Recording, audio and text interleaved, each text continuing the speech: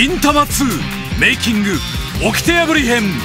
高田銀時はですあのよろずやの3人がスクリーンに帰ってくる。僕ら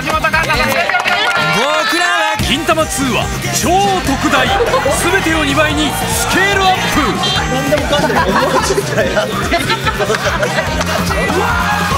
笑いはもちろん最高潮。